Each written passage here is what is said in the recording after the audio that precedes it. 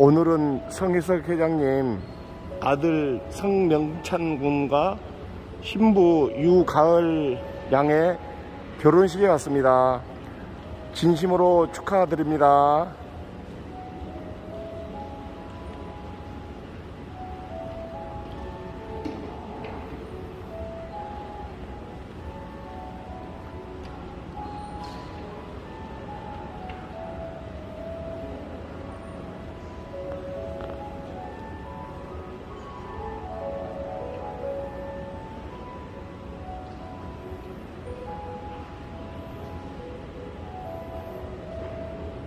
성 회장님 아드님 성명찬 군과 신부 유가을님 행복하게 사십시오.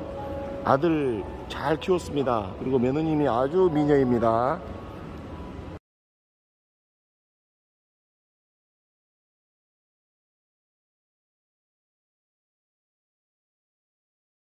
네, 안녕하세요. 반갑습니다. 그 축하 말씀 한 말씀 하십시오. 행복하게 어, 건강하게 요즘 네네. 건강 최고잖아요. 네. 행복하게 살았으면 좋겠어요. 아, 우리 회장님도 한 말씀 하십시오. 예, 서로 의지하면서 이제 건강하게 살았으면 좋겠습니다. 네, 오늘 화객들이 많이 오셨어요. 곧 결혼합니다. 행복하게 사시기 바랍니다.